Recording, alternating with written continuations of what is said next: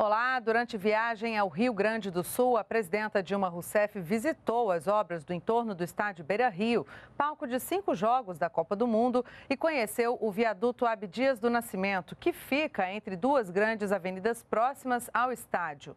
O novo viaduto tem 250 metros de extensão e o trecho estaiado, no formato da letra M, tem 12 cabos de 72 metros de comprimento e 32 metros de altura para estabilizar a pista. Segundo a Prefeitura de Porto Alegre, mais de 46 mil veículos que circulam por dia nesta região serão beneficiados pela obra. O viaduto é uma das obras de mobilidade urbana que vai facilitar o tráfego de veículos na capital gaúcha. A obra liga a Zona Sul e o centro de Porto Alegre ao estádio Beira Rio. Ainda em Porto Alegre, a presidenta Dilma Rousseff conversou rapidamente com a imprensa. Essas obras, elas têm um alcance muito maior. Elas servem para a Copa porque vai facilitar o trânsito, mas elas são, sobretudo, para o povo de Porto Alegre. A presidenta Dilma Rousseff lamentou a morte do ex-jogador de futebol Fernandão, ídolo do Goiás e do Internacional. É, o Fernandão é, uma, é um exemplo de caráter também, além de ser um excelente jogador deixa saudades em todos nós. De Porto Alegre, a presidenta seguiu para São Leopoldo, município a 34 quilômetros da capital. Lá, ela visitou as instalações e participou da inauguração de uma fábrica de semicondutores localizada no Parque Tecnológico da cidade. Senhoras e senhores, antes eu queria saudar aqui os estudantes que o padre Marcelo Aquino, reitor da Unicino, tanto se orgulha e eu também me orgulho. Os estudantes do Ciências Sem Fronteiras aqui da Unicino. Então, saúde vocês.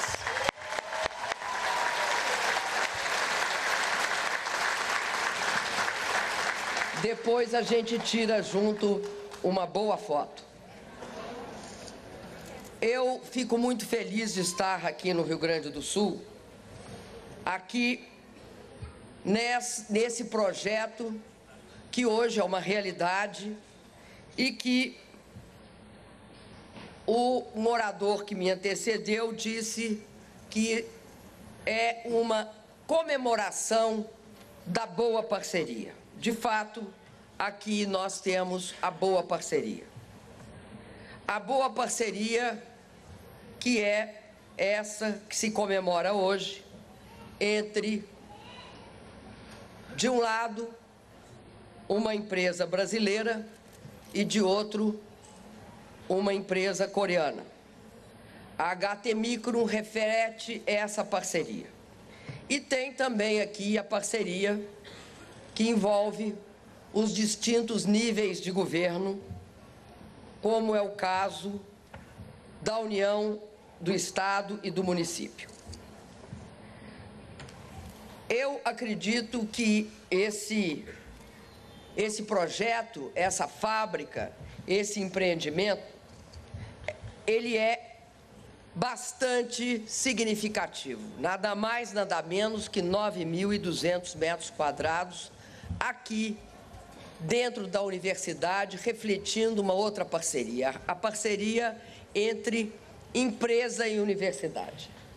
Nós sabemos que para ter um projeto de inovação consistente, é necessário que haja esta relação, principalmente quando se trata de área de inovação, entre empresas privadas, geradores de tecnologia, muitas vezes internacionais, institutos tecnológicos e científicos de universidades e os, todos os incentivos que é possível se construir através de políticas de governo. Eu, no, enquanto ministra-chefe da Casa Civil, estive envolvida numa discussão muito forte dentro do governo que envolvia a CEITEC e naquela época a discussão a respeito da internalização no Brasil da cadeia de semicondutores.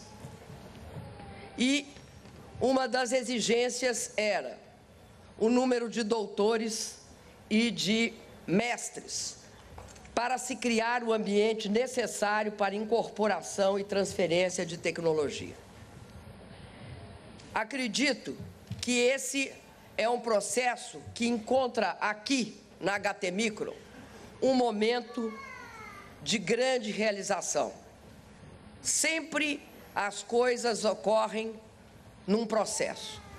Mas aqui nós temos o exemplo do que é possível fazer quando se encontra um empreendedor, quando se encontra um empreendedor que vai ser o suporte nacional da organização desse processo. Eu quero cumprimentar o Filizola e o Gerbasi. Os dois são aquele ingrediente sem o qual os projetos não ocorrem. Sempre é necessário que haja um polo, um polo que atraia, que garanta e que assegure que o processo tenha continuidade. Isso ocorre em todas as áreas que nós tivemos sucesso na transferência de tecnologia. Ocorreu no caso da Embraer, ocorreu no caso de todos os processos de prospecção e exploração de petróleo em águas, em águas profundas. E ocorre aqui no caso da indústria de semicondutores. Eu acredito que aqui se gerará vantagens competitivas para outras cadeias produtivas que utilizam circuitos integrados. Aqui nós podemos, de fato, estar internalizando uma parte significativa da cadeia produtiva de semicondutores. Por isso, a joint venture entre o Grupo Gaúcho Parit e a empresa sul-coreana Hana Micron para criar a HT Micron e implantar esta unidade fabril aqui em São Leopoldo deve ser saudada. Como deve ser saudada a Unicinos e o reitor da Unicinos, o padre Marcelo Aquino. Aqui na Unicinos, uma universidade que alguns dos ministros têm a honra de ter cursado, né, padre Marcelo? Ministro Rosseto e, se eu não me engano, ministro Paim, o da Educação e do Desenvolvimento Agrário. Aqui nós temos um exemplo especial no caso do Rio Grande do Sul, que são as universidades comunitárias. E agora, né, Padre Marcelo, nós temos a garantia do PROIES e, com isso, a melhoria das condições para essa universidade. Mas eu acredito que essa transferência de tecnologia vai ser um marco para a indústria brasileira e vai propiciar o desenvolvimento de novos produtos e processos, a formação de pesquisadores, de trabalhadores. E aqui eu queria dizer para os senhores que nesse processo nós estamos imensamente empenhados. Cada vez mais a educação no Brasil vai ter um papel estratégico. De um lado, para assegurar a permanência, a perenidade, a garantia que não se volta atrás no fantástico processo de desconcentração da renda ocorrido no nosso país nos últimos 11 anos. Esse processo que levou para as classes médias uma, uma população equivalente à da Argentina, ou um pouco mais até que a da Argentina, 42 milhões de pessoas ascenderam à classe média e 36 milhões de pessoas foram retiradas da miséria, da pobreza extrema. Para segurar esse processo, só há um caminho: o caminho da educação.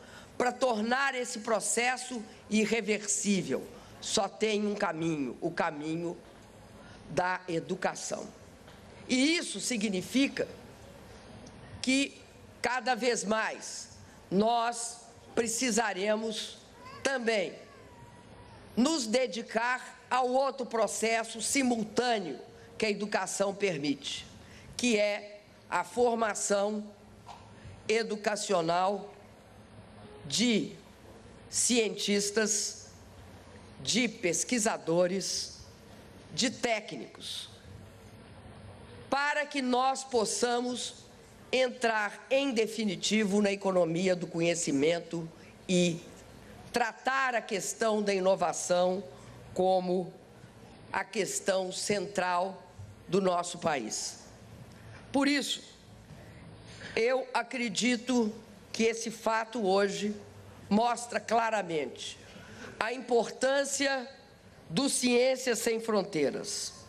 E aqui eu queria destacar e agradecer e cumprimentar mais uma vez o Padre Marcelo, porque a Unicinos se destaca com 217 bolsas concedidas no Ciência Sem Fronteira em, em 17 países, sendo que a Coreia do Sul e os Estados Unidos e o Reino Unido são onde se localizam as universidades mais procuradas.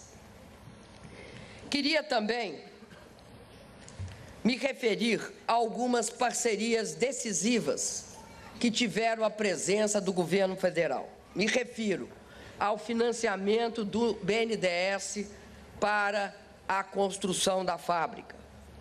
E aqui eu queria cumprimentar uma pessoa. Queria cumprimentar o Glauco Arbix, presidente da FINEP. Por favor, Glauco, você queria se levantar?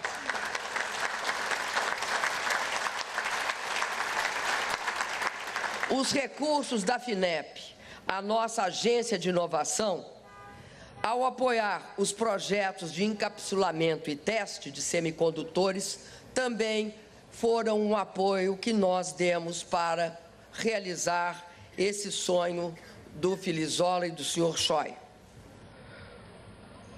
Além disso, os benefícios do PADIS. E o PADIS é um programa que desonera de tributos os equipamentos e os aparelhos aqui utilizados, enfim, que, que simplesmente elimina os tributos desses equipamentos e desses aparelhos.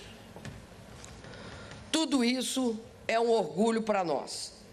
E eu acredito que nós, os governos, o governo federal e o governo do estado, com o Badesul e toda a Secretaria de Desenvolvimento e Ciência e Tecnologia, cumprimos o nosso papel. O nosso papel e o nosso compromisso, o compromisso com que nós consideramos fundamental para o futuro do Brasil, que é garantir as melhores condições para o investimento produtivo privado, na inovação tecnológica, garantindo e assegurando a competitividade da nossa indústria. Garantindo e assegurando que nós continuaremos na trilha da criação de empregos, de empregos cada vez mais qualificados e, ao mesmo tempo, continuando e aumentando e ampliando a nossa capacidade de gerar renda para as famílias brasileiras. Acredito que aqui no, no sul do país, aqui em São Leopoldo, se constitui um eixo muito importante da indústria de semicondutores.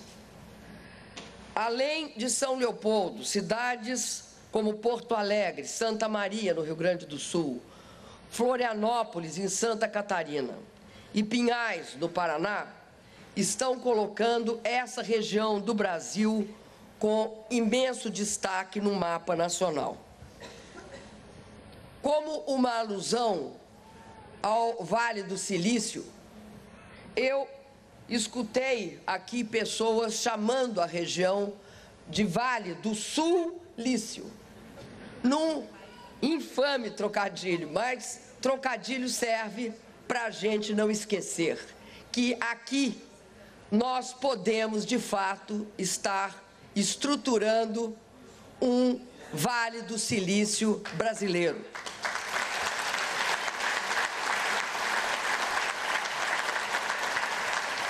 Nós reconhecemos que no Rio Grande do Sul foi a implantação do CEITEC, uma fábrica pública de semicondutores que desencadeou um processo extremamente virtuoso.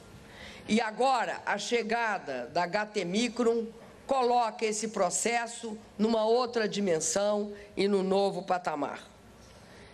Quero dizer para vocês que eu tenho certeza que nós teremos aqui um processo extremamente rico e diversificado. E por isso quero também dizer que nós vamos continuar apoiando a cooperação do Brasil com a Coreia, a cooperação entre instituições de ensino e de pesquisa e o setor privado. O ministro da Ciência e Tecnologia tem uma preocupação centrada justamente nesse caráter empreendedor da inovação. No caso da relação entre centros de pesquisa e indústria. Por isso, eu acredito que iniciativas como a criação da Empresa Brasileira de Pesquisa e Inovação Industrial, a Embrap, que já iniciou as suas atividades, terá papel de destaque no fomento à cooperação entre empresas e instituições de pesquisa. Além disso, o Inova Empresa, que em apenas um ano lançou 12 editais, para os quais se inscreveram mais de 2.600 empresas, contando com a participação de 223 instituições de ciência e tecnologia. Portanto, junto com o BNDES, junto com a FINEP, que contrataram 16 bilhões em planos de inovação, há outros 23 bilhões e 400 milhões em contratação. São iniciativas estratégicas como essa que mudam a dimensão e o patamar das políticas de apoio à inovação no Brasil. E a experiência da HT Micron e da Unicinos mostra que este é o caminho para darmos o salto tecnológico necessário para que entremos na economia do conhecimento, para que levemos maior competitividade, competitividade à nossa indústria e a continuidade do nosso desenvolvimento, sempre sustentado na distribuição de renda e neste processo de inclusão social que tem por objetivo transformar a, a nossa população, a nossa população trabalhadora, em técnicos, a nossa população em cientistas, cientistas pesquisadores, universitários, eu repito, em técnicos, porque hoje, por exemplo, eu assisti dentro da HT Micron essa convivência de engenheiros com técnicos de alto nível.